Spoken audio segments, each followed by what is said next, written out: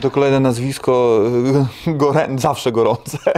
Dziwka jabana. Norman Park. y, No, wersja jest taka, że y, kurczę, daty nie pamiętam, ale chyba w kwietniu ma mieć walkę.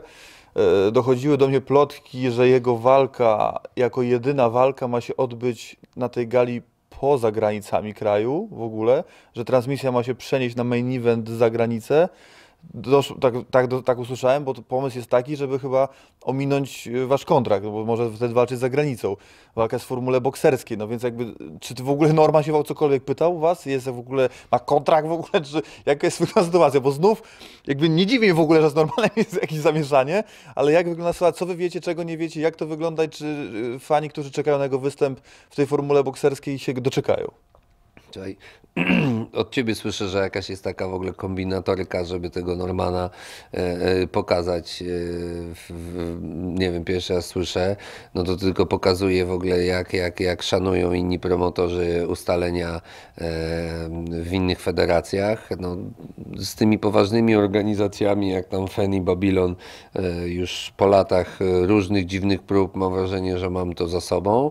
E, No jak widać inni jeszcze muszą się wiele nauczyć.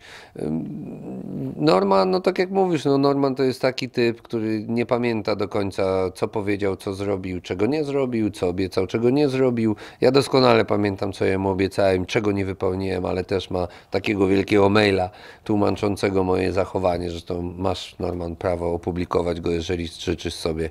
Daję ci to, to, to, to prawo, żeby po prostu może już zacząć gadać o konkretach, a nie tylko jakichś, wiesz, piskówkach w mediach.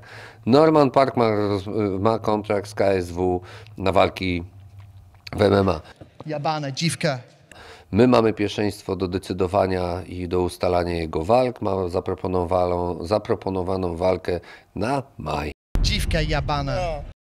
Miał dwóch przeciwników, jeden niestety się skontuzjował, e, ma drugiego przeciwnika zaproponowanego, więc jakby no, co tam się dzieje, nie wiem, bo, bo wiem, że był w Polsce, coś tam pisał do mnie.